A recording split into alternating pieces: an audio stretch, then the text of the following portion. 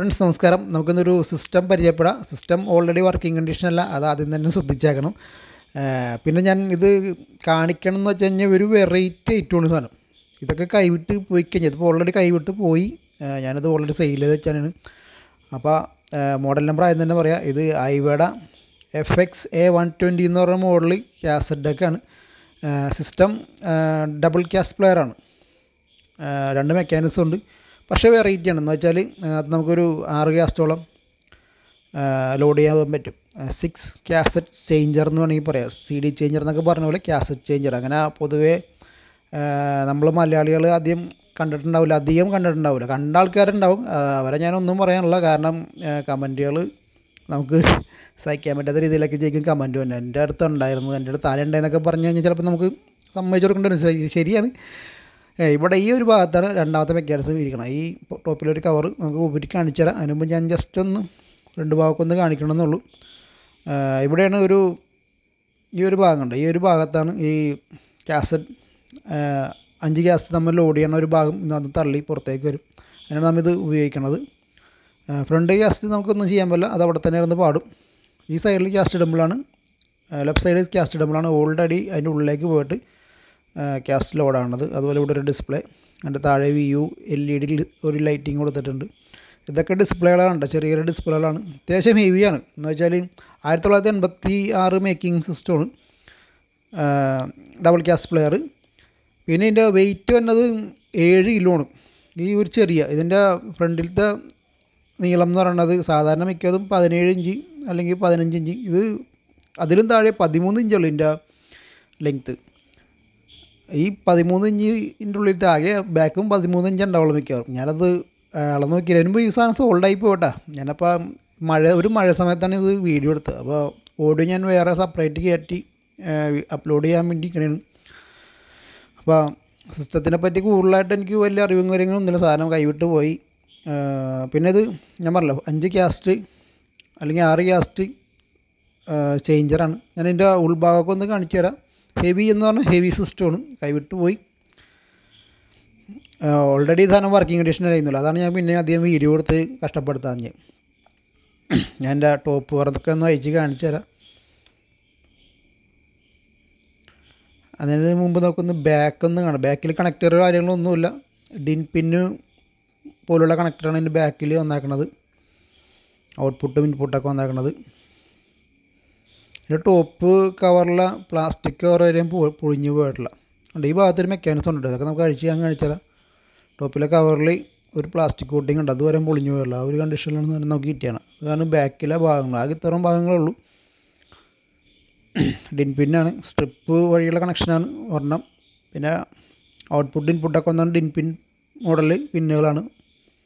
അപ്പോൾ അതുകൊണ്ട് നമുക്കിത് വെച്ചുകൊണ്ട് നിന്നിട്ട് വലിയ കാര്യമില്ല. ഇത് ജസ്റ്റ് ഓൺ കണ്ടീഷനാണ് വർക്ക് ചെയ്യില്ല ബെൽറ്റുകളൊക്കെ അതുപോലെ തന്നെ ദ്രവിച്ച് അതിന്റെ ഉള്ളിൽ കിടപ്പുണ്ട്. ഞാൻ എല്ലാം ഉൾഭാഗങ്ങളൊക്കെ അയച്ച് കാണിച്ചിട്ട് അതിന്റെ മോട്ടർ നമ്പറും കാര്യങ്ങളും ആണ് എഴുതിയേക്കണത്.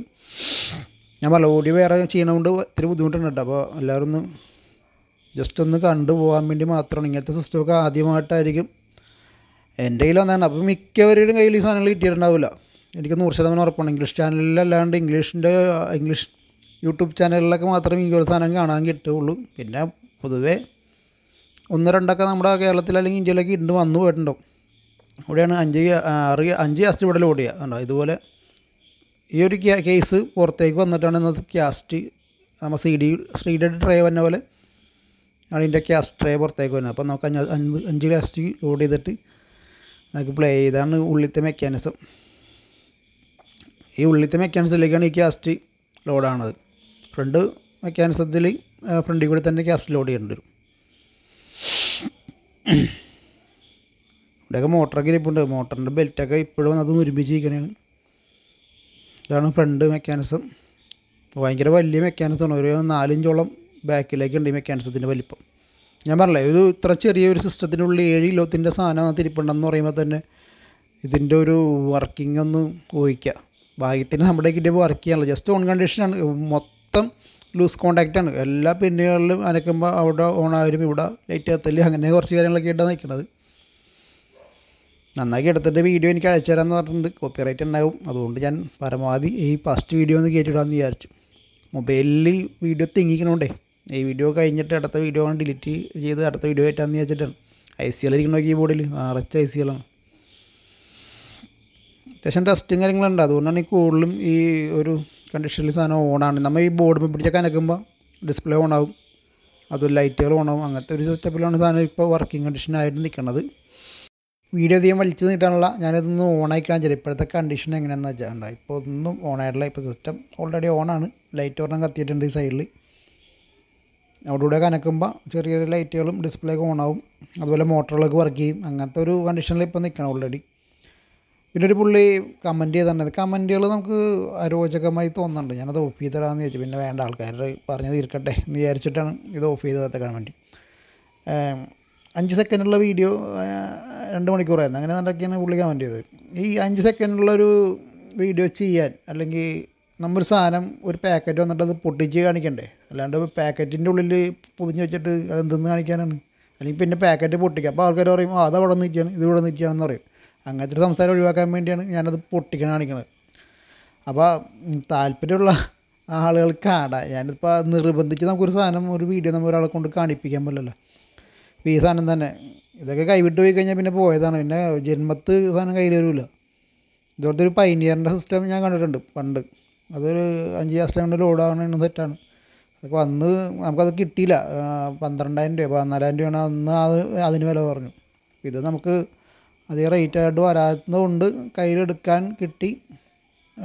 എനിക്കത് വിറ്റിട്ട് ലാഭവും ഉണ്ട് ഞാനത് ഓൾറെഡി കൊടുത്തും കഴിഞ്ഞു. അപ്പോൾ ഇതാണ് ഇപ്പോൾ ഓൺ കണ്ടീഷനാണ് ഈ കിടക്കുന്നത് ഇവിടെ ലൈറ്റ് എത്തിയിട്ടുണ്ട്.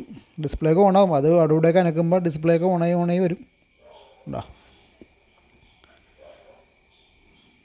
വ്യൂ എൽ ഇ ഡി അത്ര ഉണ്ടോ? അതുപോലെ ലെഫ്റ്റ് സൈഡിൽ റൈറ്റ് സൈഡിൽ ഉള്ള ഡിസ്പ്ലേ ഒക്കെ ഓണാവും അപ്പോൾ ഞാനിത് കമന്റിനെ പറ്റിയൊക്കെ പറയണ ഒന്നും വിചാരിക്കരുത്. കാരണം നമുക്ക് സത്യം പറഞ്ഞാൽ ചിലപ്പോൾ പ്രാന്ത് പിടിക്കാറുണ്ട് ഇതൊക്കെ കാണുമ്പോൾ.